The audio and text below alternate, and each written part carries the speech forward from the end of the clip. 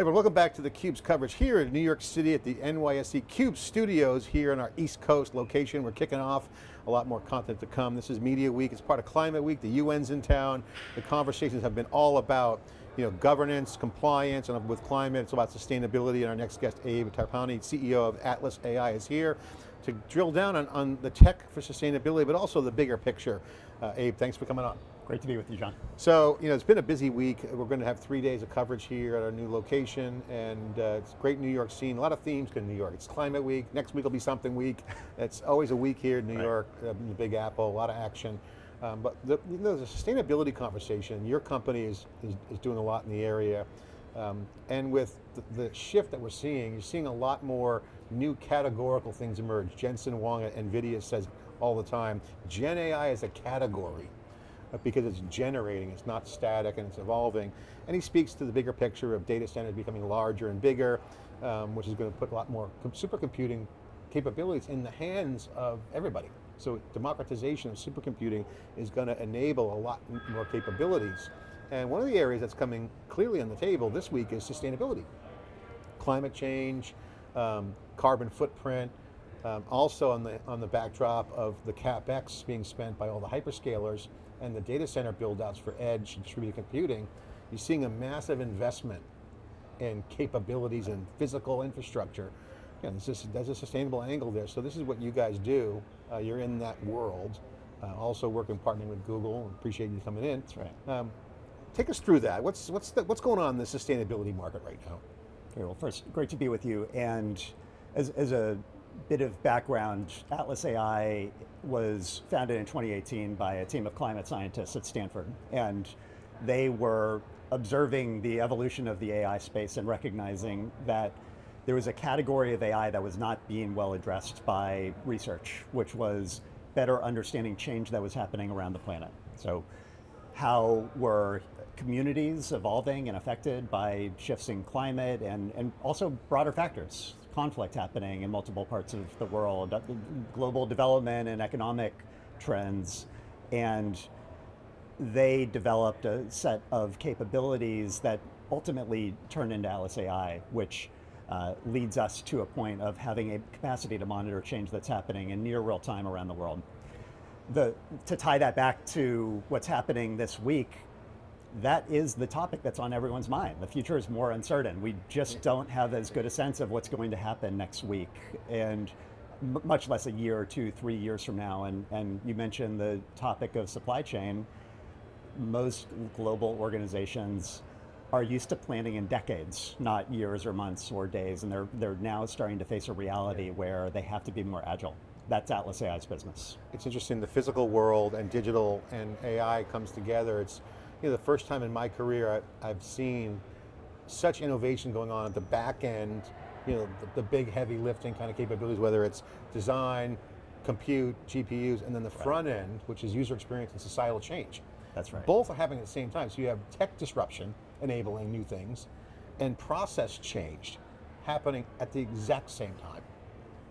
What's, what, how, as, as, as, uh, as Atlas evolves, how do you guys look at that market? I mean, it's, it's, that's difficult. That's a new environment. This is a kind of a historic moment. It, it, it is, and, it, and it's funny in a way that a, a, decade ago we would have been talking about digital transformation. That was the big trend that was happening where companies were just trying to get a hold of all of the data that was disaggregated, often in paper documents across their organizations.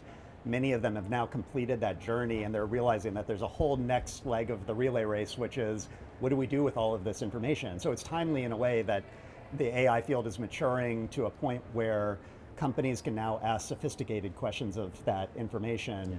but we're really just scratching the surface in terms of how they how they harness. All right, let's data. talk about Atlas AI, the, the origination, you mentioned Stanford, you mentioned um, some new problems you guys are solving.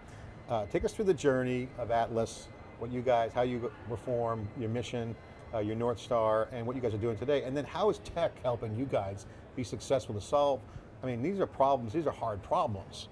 We now have scale there. Take us through that. Yeah, absolutely. So if we think about the broader sphere of the AI space right now, uh, we're very familiar with some of the new technologies that are being released that are finding complex patterns in text data or imagery or videos And there's this whole other field of geographic information that has been around forever, but that AI has been late to the game to be applied to it.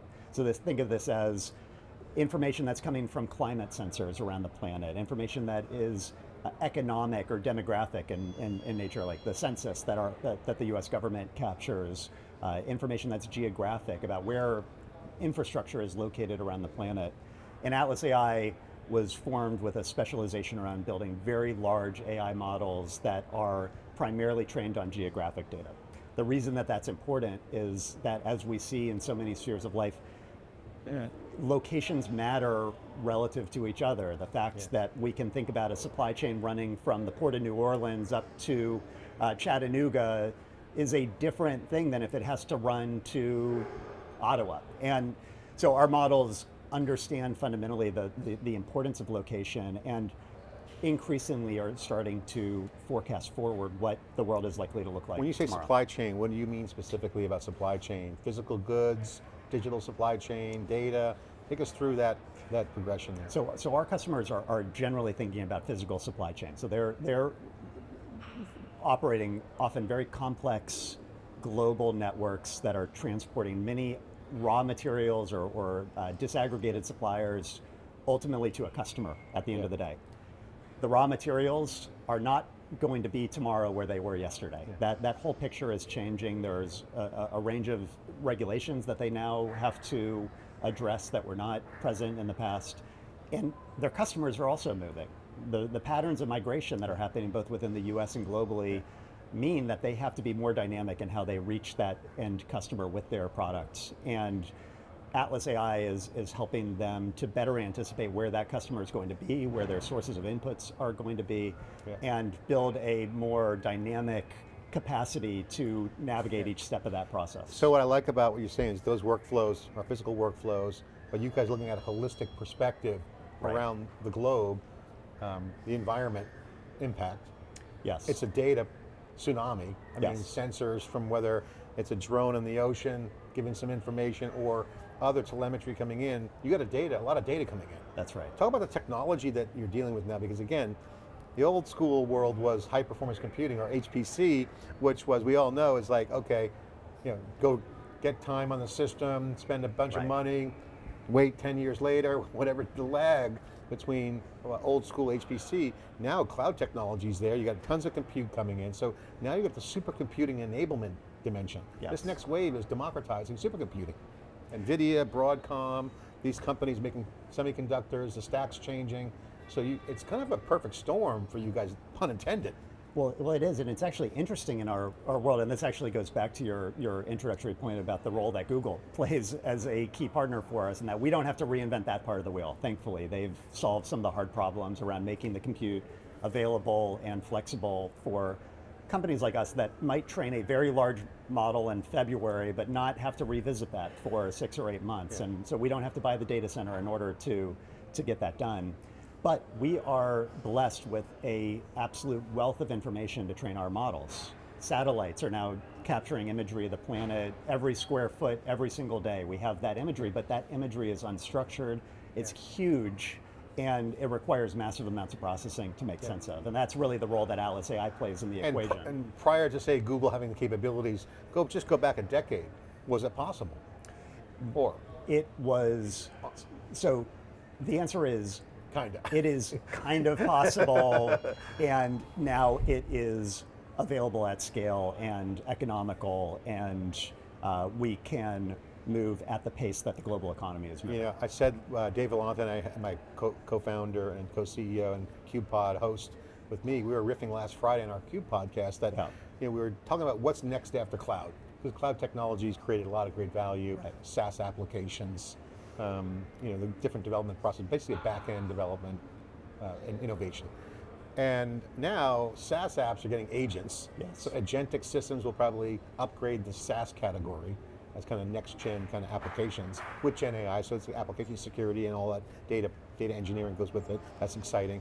But a new category is emerging called I call it scalable apps. Mm -hmm. I don't have, have, a word yet for it, but yeah. it's brand new because these are hard problems that engineers and entrepreneurs are solving that weren't solvable before. This Yeah. is a brand new category. Do you agree? No, completely. And, and actually, we look at that in, in two different ways. One is at the infrastructure level, the industry is moving to what we would call a serverless architecture, meaning even with the benefit of Google Cloud years ago, you would have to reserve capacity or make long term commits to, to ensure that you had the capacity reserved to run your models. Now, as demand increases, the architecture allows you to scale accordingly. On the user facing side, one of the things that we're seeing is that, that generative AI is allowing you to push more of the end capability to the customer themselves. So no longer do we have to fine tune the model and deploy that to our customer. They can take the tools to integrate their internal first party data, refine their model, have it be deployed in a unique way for, for their environment. And it allows us to be really part of the tooling ecosystem as opposed to Yeah. how we might traditionally think of SaaS as giving them everything nicely wrapped up and, and ready for the end user. It's interesting. You got, um, I won't say throwback because engineering never went out of style, but classic engineering is coming into systems thinking. It is. and your company has to look at the, the, the trans supply chain as a system. Using data that you're now collecting with big data techniques, that's an old term, but I'll modernize it with the cloud and say, hey, I got compute, throw it at compute, fast turnaround time, so you get, you get, you get feedback, That's right. and then you develop on it. That's, But you got to do the exactly right. engineering work. Well, and, and I think what I what I love about our company is that we're really bringing two disciplines together. One is that scalable engineering around geospatial. The other is is the economic subject matter expertise that really is at the heart of how we think about these uh, these global supply chains. They have to really respond to the way that the economy is is shifting, and that's not just a matter of finding patterns in large data. Yeah. So think of it almost as building a large climate model. You can't just throw the climate data in and expect to get a good output out. You have to bring weather expertise in. It's as well. interesting, we're having a hurricane kind of come up the East Coast. Be interesting to know that Right. information, this disruption opportunities that could take place. You actually maybe adjust the supply chain, obviously around that's an obvious example. What are some other examples that you see that are enabled by this disruption? Because you know what, what I love about this market is it's what I call a disruptive enablement market. Right. It's disrupting, but it's enabling. It's not disrupting for bad. It's disrupting for opportunity. What are some use cases that you see are new opportunities? Sure. Let me give you two on very different sides of our business. So, one part of our business is helping public sector agencies, governments, and global development organizations serve vulnerable populations. So, Nutrition International is a partner who is working with local government partners to distribute vaccines and vitamins and other, other aid to malnourished communities in, in lower and middle income countries they need to be able to adapt to the operating conditions on the ground, which are very volatile, and prioritize limited resources to, to reach the, the communities that will benefit the most from their uh, support. On the other end, we recently announced a partnership with the commercial aviation group of Airbus. Can you imagine a more complex supply chain that needs to get all of these pieces from every part of the world into make a finished aircraft?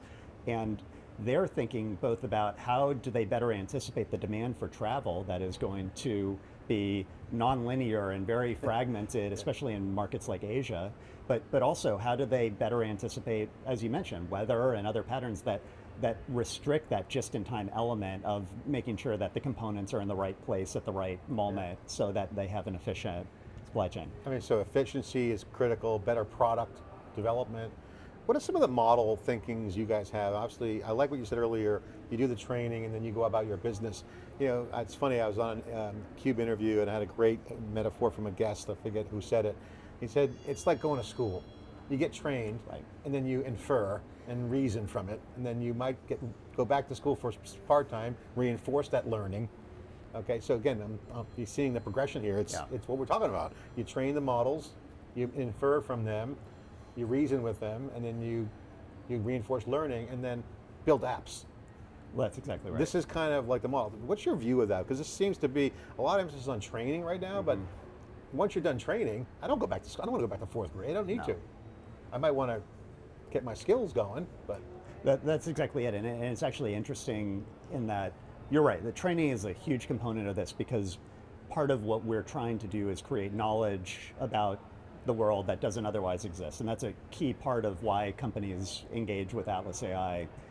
But the problem that they're actually facing is that they're sitting on a mountain of data themselves that they're not making use of in a way that helps provide specific feedback loops into the business. And so, to your exact point, the training gets you to a set of patterns, but it's really that refinement and the inference that, that can occur once a company integrates its own internal systems. That's where the magic happens because now they can learn based on what was successful or not yesterday, Yeah. how do they adapt tomorrow to better uh, adjust their, their organizational and operational plan. Well, Abe, I, I really love your mission, and I, and I think it's awesome because I think it's a, a unique time in history. And again, this is a first generation attempt at solving a lot of hard things at the same time. So congratulations on that. Thank Not you. putting more pressure on you. Uh, but we're at Climate Week, so so imagine, um, go forward in your mind at steady state. You know, Atlas AI is growing, you're successful. In that steady state of your business, what does that look like for you? Is it agents, agentic systems working? What, what's happening in your mind's eye? so It's We- all working. that's right. Assume it's working. we, we've solved everything. Yeah, so the things, the, the string gets pulled, everything kind of happens. It's all good.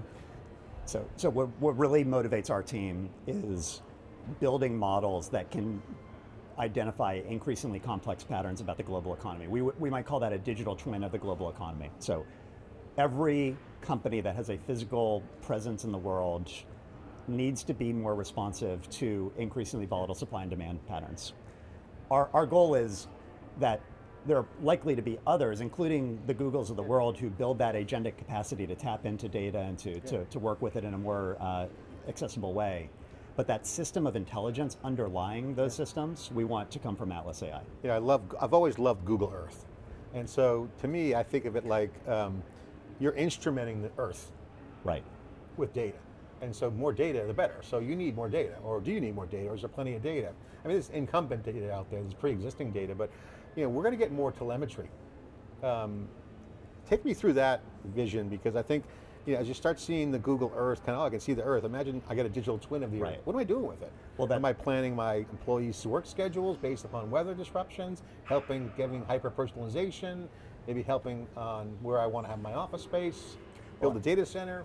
What are some of the I, things? I think that the reality is it could be all of the above, and, and that's why it's so important to create the capacity to, to fine tune applications on top of our, our, our platform. So you can easily imagine that part of the uh, housing expansion plan in the US relies on a better understanding of the socioeconomic patterns that are occurring across the US in very granular ways. Where can new housing have the greatest benefit on, on equalizing the playing field at the same time as you might have very high frequency operations that are dependent on weather and other patterns that need to better anticipate what preparation is needed in order to to uh, to operate. So Airbus again is a very good example You of, get- of that. You got real customers.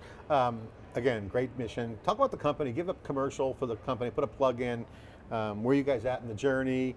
Uh, what are you looking to do? You looking to hire? You got take it take it away. Yeah, absolutely. So we are a uh, from for those familiar with the startup uh, life cycle, we're, we're still relatively early stage. We've raised about $10 million today. We have a team of about 20 people. And so, and actually almost all scientists and engineers still within the company. Mostly Stanford? Yes, yeah. And the founding team are, are professors at the Doerr School of Sustainability and in the Department of Computer Science at Stanford. And so the next leg of our journey is that Yeah. we've, we've, as you mentioned, we have, uh, we have a set of customers that we believe represent a, a problem that's quite large. We're now building the, the infrastructure to deliver that to Yeah. more, more customers out there. If you're watching, it's a great mission. Again, it's technical, a lot of hard problems to solve. So it's the classic recruitment dream scenario. A lot of people want to work on hard problems, and now's a great time to do it. Please reach out to us. We, uh, Final question: Are you pleased with Climate Week this week? Did it meet your expectations? Is it progressing along in the right way? Is sustainability a bolt-on? Is it moving to be designed in from day one? it, yeah, I, I can only be in awe of the scale of this week. It- it- compared to even last year, it, it seems like we have 10 times the amount of people and companies that are taking part of the dialogue. And it is an opportunity for people from all over the world to come together in a common place. And, and, and so I, I'd say that a lot of the value has been in the side meetings that have uh, emerged from some of the big events.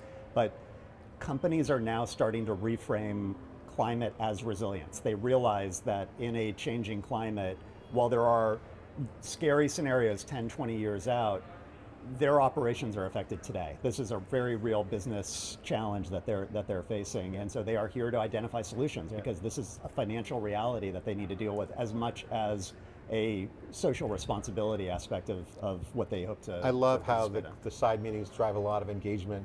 What did you learn from, the, from those side meetings, and what are you going to take back to the ranch, so to speak, at Stanford, or the farm, I should say?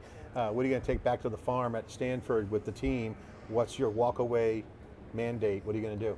So the, the first is that there are some collaborations that are emerging from historically very siloed parts of the ecosystem. So for example, we don't internally do a lot with climate and weather modeling, but a lot of those companies that are building very advanced weather models are here. And if you think, and there's a, a whole other ecosystem around monitoring biodiversity and, and forestry loss and other as, impacts on natural resources the reality is is that most solutions rely on the intersection of all of those and so there's a lot of interesting collaborations among partners that are starting to form Yeah.